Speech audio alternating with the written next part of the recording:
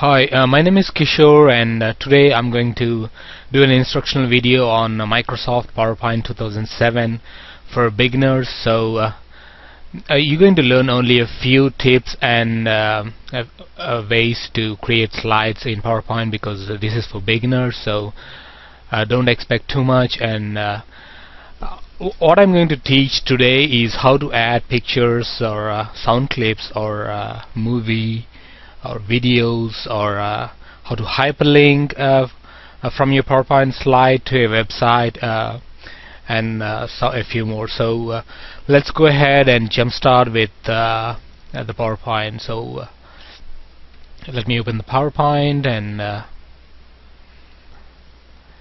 uh, uh, before it opens, uh, let me talk about a few software similar to Microsoft PowerPoint that you can use and these are totally free and I would rather recommend those uh, before using uh, PowerPoint I think PowerPoint you can use only for 30 days as free trial and beyond that I think you have to pay unless you have a student student.edu email address. I think for students you can get it for a cheaper price but still I'd rather recommend uh, websites like Prezi.com which is for free and uh, a SlideShare I think even that's for free and also uh, Photo Story by Microsoft. It's a little bit similar to uh, PowerPoint but uh, yes I'd recommend that too because it's free. Um, one more thing I would recommend really uh, well is uh, Google Documents. If you have a Gmail account and if you go to your top of the page on the left hand side uh, you see Google Documents and click on the documents and then uh, once you're in the documents web page uh, click on create and uh, choose PowerPoint. This is one other way you can create PowerPoint slides for free. Okay before I start uh, uh, the PowerPoint presentation what is PowerPoint? Uh, PowerPoint is something similar to index cards probably used as a child or as a student so if you number your index cards serially and then you want to show them to a wider audience uh, uh, it, uh, then it becomes automatically similar to uh, PowerPoint. Uh, that's what you do when you share your slides to wider audience. So when you uh, start and click on the icon for Microsoft PowerPoint 2007, this is the interface how it looks like. So let me quickly walk you through the console and uh, this is called uh, Microsoft uh, I mean quick tips toolbar. And uh, this is these are the tabs. Usually you have seven of them. And under each tab when you click on that uh, you have uh, groups groups of icons and or buttons which you can click on and which I'm going to talk about in a few minutes. So the quick access toolbar and then the tabs and various groups under each tab. So we have home we have insert we have design we have animations we have slideshow we have review we have view uh, tab and then an add-ins tab. Uh, as a beginner you don't need to learn about everything but uh, the first thing always you need to focus on when you uh, open a PowerPoint uh, blank slide is uh, animations uh, is the design first actually. So uh, as I click on designs or as I hover my mouse on them you can see uh, these are custom design uh, or pre-designed templates which you can use uh, for your uh, PowerPoint presentation. So, so you can see as I click on them the color and also the font and everything changes. So for this presentation I'm going to use uh, Uh, this uh, design. And uh, uh, even the slide this is uh, what we call a slide and in the slide you have uh, this is a title bar and uh, this is a subtitle box. Uh, we can call them text boxes. So this came along with the design. So I'm going to use them for today. So I'm going to use an example and that's American history. And uh, while we design a few slides uh, based on American history and uh, especially we're going to include Louisiana history in that.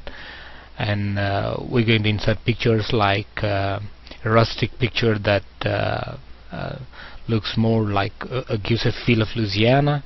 And the state flower for Louisiana the magnolia and also the bald eagle for the United States uh, uh, we're going to add a few slides on presidents of the United States and I'm going to do a, a few slides on presidents like Herbert Hoover and Roosevelt. So let's go and start.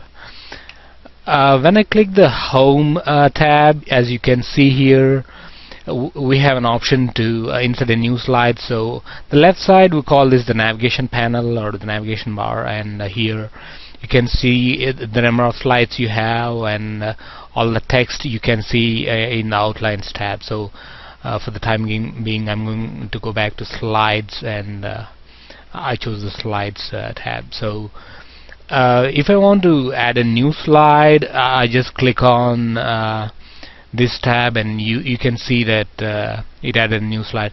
We have various options to see these are uh, custom uh, pre-made uh, if you want to use like a se section head header type of uh, slide or uh, two contents like when you try to compare or describe or things like that. Or you put a picture here and put some text here even that's a way to and you can see the comparison uh, uh, it does what it means. So uh, most of the time I would rather recommend starting always with the blank slide and going to uh, text box and uh, inserting a text box. Uh, that's the way you can create some really good slides that are apt and palatable and presentable. So okay I, I come back and uh, let me explain what these uh, individual uh, tabs or buttons uh, do. Okay I come back to uh, our first slide and then I want I want to add some text here so I click on to add uh, title and my title is going to be American history. So and uh, I want to add a subtitle. I want to say uh, like uh, Louisiana and American history since Great Depression okay.